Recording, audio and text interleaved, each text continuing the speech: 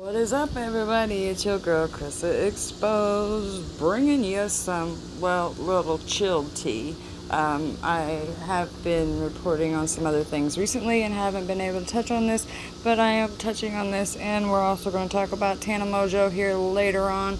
But, anyways, um, what exactly happened with Bella Thorne and OnlyFans by Hannah Gold?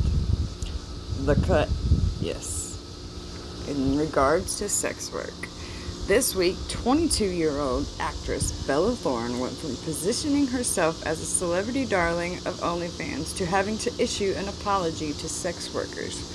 Many of the site's performers say the former Nickelodeon star's contentious entree to the subscription based platform, where she earned a reported 2 million in under a week, caused the site to limit the amount of money performer, its performers can make. OnlyFans, with its 30 million users, has long been a platform where performers, especially those with explicit content, can earn a living.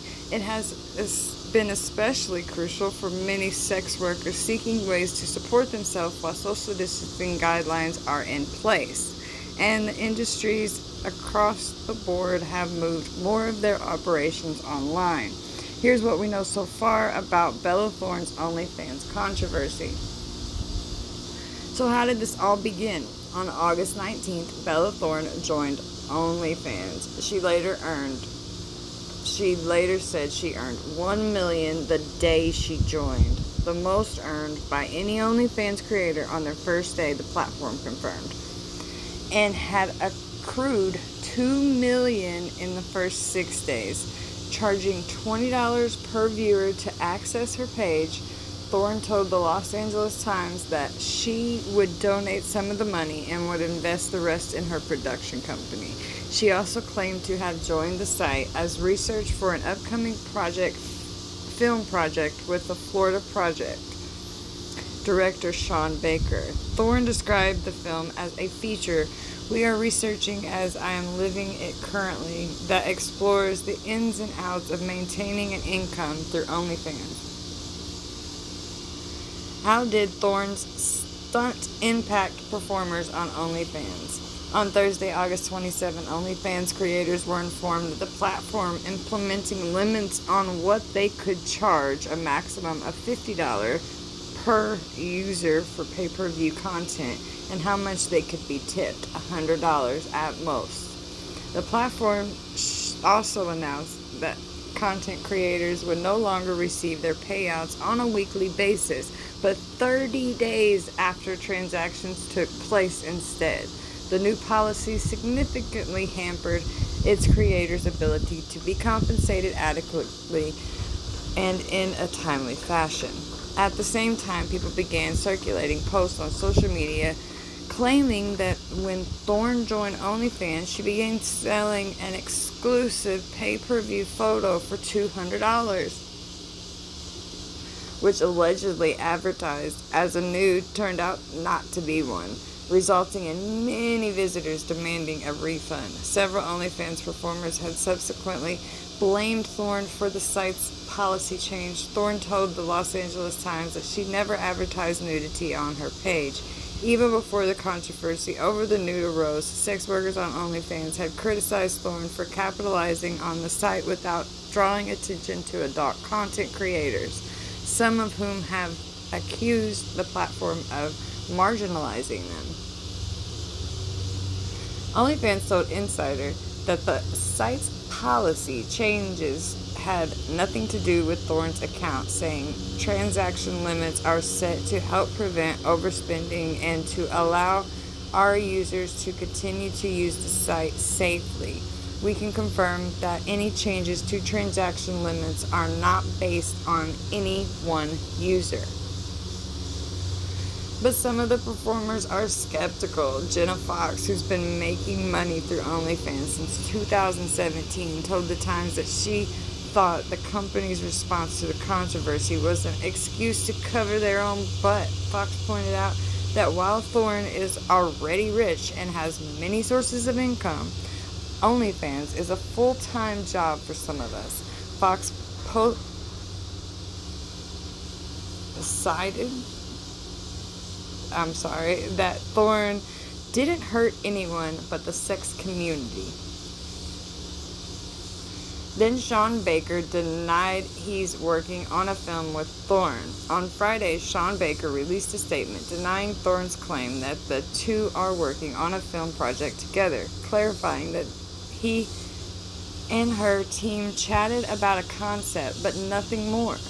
I would like to make it clear that the news of me making a film about OnlyFans and using Bella Thorne as research is false. And the doctor said, I am not attached to this project, Baker went on. He said he'd had a conversation with Thorne earlier this month in which they discussed a possible collaboration on the subject of OnlyFans. He said during the conversation he specifically advertised her team to consult with sex workers and address the way she went about this as to not hurt the sex work industry. As you see, there is Sean Baker's tweet. Finally, Thorne apologized. By Saturday, Thorne adopted a very different attitude towards her OnlyFans windfalls, issuing an apology in which she weirdly positioned herself as a champion of sex workers.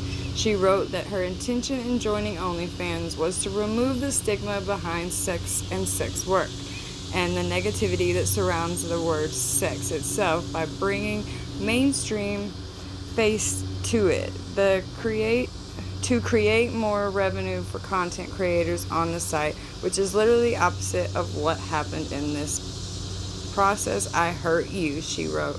And for that, I'm truly sorry. And you see, there is her official tweets.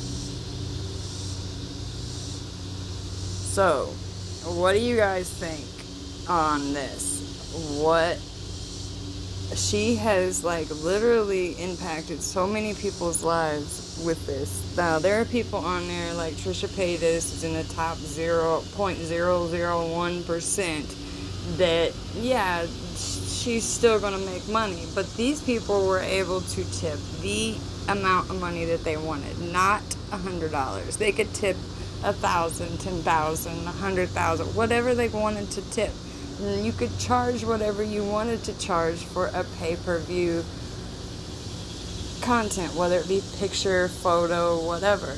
And now,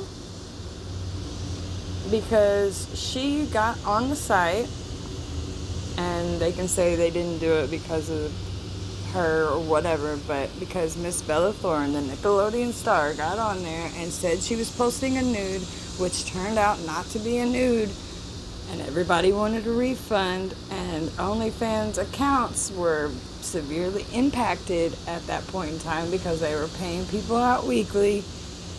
They didn't, they couldn't cover their butts, so they put these new things in process to where now you can only tip a hundred dollar maximum at a time, and fifty dollars is the max for a pay per view. Now some of these girls are actually posting sexual content of them like it's like sex tapes basically. And you could charge whatever you wanted for these videos. And now you can only charge 50 bucks. These girls a lot of them refuse to put their content out that cheaply but let me know what you guys think in the comments below. Are you a sex worker? Have you worked in this industry before? Is this something that has affected you or someone you know?